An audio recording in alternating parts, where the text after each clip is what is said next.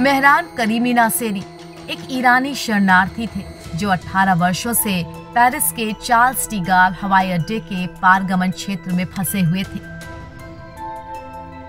उन्हें फ्रांस और अन्य देशों में प्रवेश से वंचित कर दिया गया था और वो ईरान लौटने में असमर्थ थे। नासेरी वैध ईरानी पासपोर्ट और यूएनएचसीआर यात्रा दस्तावेज़ के साथ 1988 में पेरिस पहुँचे थे।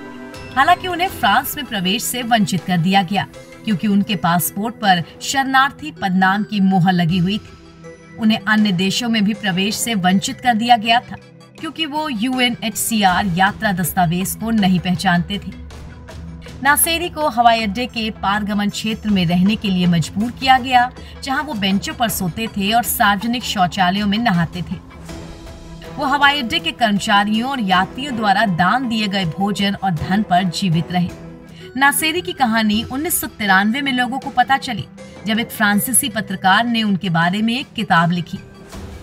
इस पुस्तक का कई भाषाओं में अनुवाद किया गया और नासेरी की दुर्दशा को दुनिया के सामने लाया गया।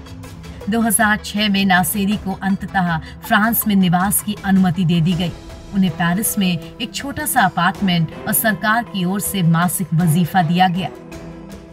2018 में बासठ साल की उम्र में उनका निधन हो गया।